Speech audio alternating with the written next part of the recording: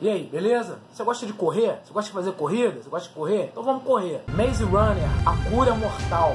Maze Runner The Last Cure. Rolaram vários problemas, mas depois de dois anos temos a continuação de Maze Runner. Eu já vou começar para falar para vocês que eu gosto muito da franquia Maze Runner. Eu gosto muito, mas muito mesmo. A sua concepção da corrida, assim, do primeiro filme. Você lembra do primeiro filme, do labirinto? A galera correndo no labirinto. Não, quem é o mais rápido? Ah, o Minho é o mais rápido. Ele conseguiu percorrer mais coisas do labirinto. Aí veio o Thomas. Não, eu consigo chegar mais. Eu faço, consigo ver mais coisas ali. O primeiro filme foi muito legal legal. Eu também gostei muito do segundo filme, ele explica mais da história. Por que, que eu gosto de Maze Runner? Que história é essa? Jovens lutando contra o sistema. A gente tem sempre o protagonista, um jovem assim, que ele é o chefe, tá, o líder, e ele vai contra esse sistema, opressor. A gente já viu isso várias vezes. A gente já viu isso em Jogos Vorazes, em Divergente, em Matrix. Matrix a gente vai tirar porque Matrix é muito bom. Jogos Vorazes, Crepúsculo, Divergente, é muito meloso. E a maior questão, eles já entregam toda a história história para você. O Maze Runner começa com a questão da amnésia e o segundo filme também tem essa questão da amnésia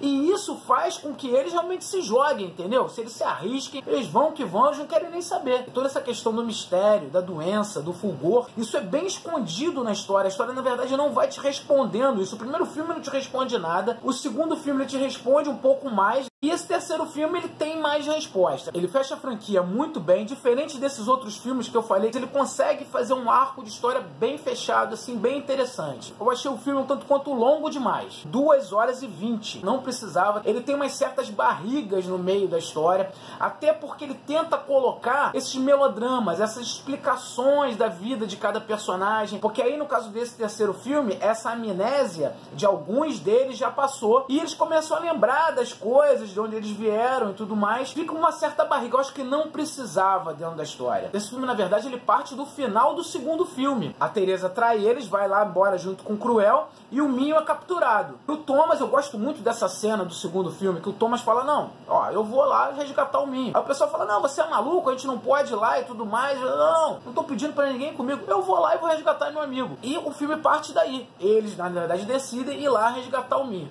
Mas aí a questão toda, eu já entrego um pequeno spoilerzinho para vocês. O Minho tá lá, capturado nessa cidade, e o Minho tá sofrendo essas experiências em relação ao medo, para gerar essa cura. Mas isso, na verdade, a gente tem essa explicação dentro do livro. Conta pra gente que, na verdade, essa doença tem toda uma ligação com o medo e a relação dos imunes. Mas esse filme, cara, ele meio que passa batido disso aí tudo e se foca mais na ação e numa tentativa de explicação dramática desses personagens. Quem lê os livros pode chegar nesse filme e falar: não, tá tudo errado, não sei o que. Eu já vi muita crítica em relação aos livros, comparando com os filmes. Wes Ball, que é o diretor, ele foca mais na ação da história. A ação é o principal foco da história. Porém, ele errou um pouco em tentar colocar dramaticidade demais nesse filme. São quatro livros, três livros que se encaixariam dentro dos filmes. O quarto livro, que é a Ordem de Extermínio, ele volta sendo o prequel explicando essa doença. Mas o material que seria utilizado nesse quarto livro, essa explicação, a gente não vê muito dentro dessa história. Então a gente não tem realmente um fechamento interessante, uma grande explicação dessa história. Esse filme, na verdade, a produção vem bem mais megalomaníaca que nos outros filmes. A gente tem bem mais efeitos, bem mais cenas grandiosas, assim.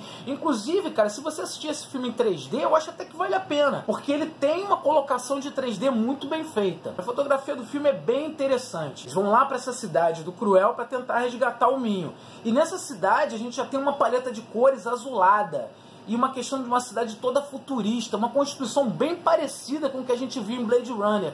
Principalmente nesse Blade Runner novo, essa cidade futurista, essa cidade clean, e essa paleta de cores azulada. Fora isso, é o deserto, tem aquela parte toda destruída, onde estão os Krangs e tudo mais, então ele usa uma paleta de cores alaranjada para destacar isso. Você já fica com uma produção bem parecida com Mad Max. Torna isso tudo muito parecido com toda a produção de Resident Evil. A gente via onde era a Umbrella, aquela coisa futurista, clean, e a parte do deserto toda ferrada. O Wes Ball ele tem uma pegada muito boa na direção, assim, e principalmente para filmes de ação. Adaptação do roteiro dessa história continua sendo do T.S. Nolan. Inclusive, o T.S. Nolan vai participar do roteiro da produção do próximo Círculo de Fogo. E também do James Dashner, que é o próprio autor dos livros. a gente tem umas facilitações de roteiro, ou seja, umas conveniências. Não chega ao ponto de ser Deus Ex Machina, mas as coisas acabam sendo muito fáceis. Tipo, tem aquele problema, ah não, meu Deus do céu, nós estamos aqui, não sei o que. Bum, vai lá, alguém salva.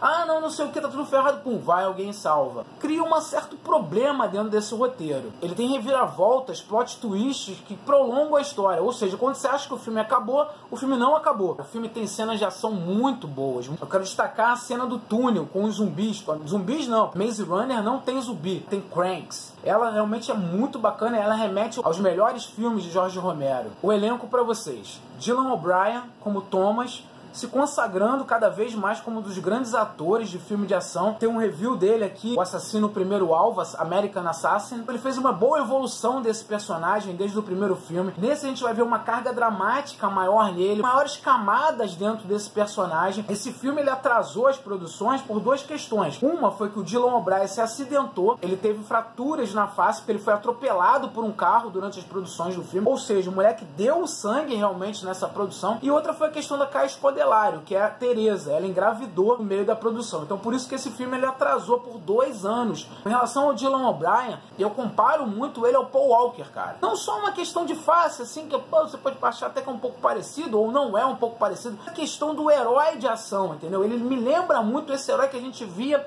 no Velozes e Furiosos que tem aquela questão, o Toreto, todo grandão, todo fortão, babá, babá, mas não, tinha o Paul Walker, magrinho, não sei o que, resolvia. Na verdade, era ele que resolvia tudo. E nas cenas de ação desse filme e dos outros filmes de Maze Runner, a atuação do Dylan O'Brien me lembra muito Paul Walker. Isso eu acho muito legal. Eu acho até que o Vin Diesel deveria trazer o, o Dylan O'Brien para os próximos Velozes Furiosos. Alguém para substituir o próprio Paul Walker. A Kai Scodelario como a Teresa, esse personagem dúbio, que no final do segundo filme ela atrai os amigos para se aliar ao Cruel e o que leva até a captura do Minho. A gente vê o Minho de novo na história, né, que é o Ki Hong Lee. De todos os filmes, assim, o personagem que eu mais me amarro é o Minho. Desde o primeiro filme, ele é o que corre mais, mas na verdade, o aproveitamento dele dentro desse roteiro, o aproveitamento narrativo dele é muito pouco. Vou colocar um spoilerzinho para vocês que morre gente nessa história. E isso é uma parada legal no, nesse roteiro, porque o roteiro não tem medo de matar personagem importante, mas eu não vou falar para vocês quem é que morre. A gente tem uma importância legal nessa história do Newt, que é interpretado pelo Thomas Brody, que a gente já conhece ele de Game of Thrones, e pela Brenda, que é interpretado pela Rosa Salazar. Esses dois personagens, eles crescem de importância nessa história.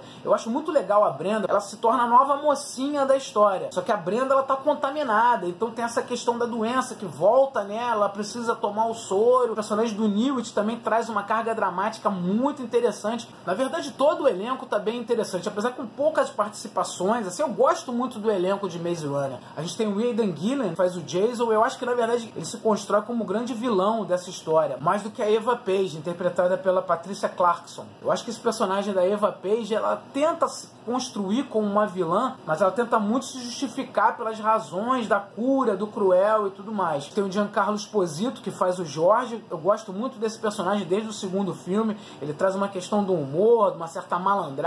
Tem a Harriet, que é interpretada pela Natalie Emanuel, a Ramsey do Velozes e Furiosos, a Missandei do Game of Thrones. Todos esses personagens coadjuvantes, eles têm pouco aproveitamento e poucas camadas. Então é isso aí, galera. Eu gostei bastante de Maze Runner, a cura mortal. Eu gosto de toda a franquia, como eu falei para vocês. Eu acho que no geral, todas as cenas de ação, toda a conclusão dessa história, todas as atuações dos personagens principais, a fotografia utilizada, ficou um filme muito bacana, vale muito o seu ingresso. Então é isso aí, galera. Vão pro cinema e assistam Maze Runner, A Cura Mortal, porque esse vale a pena. Muito obrigado por assistir o vídeo. Querendo conversar comigo, meus contatos estão aqui embaixo. Gostando do vídeo, compartilha com seus amigos. É isso aí, Maze Runner, A Cura Mortal. Já vou sair daqui agora, vou pra rua, botar meu tênis e fazer uma corridinha, porque o negócio é correr, correr, correr.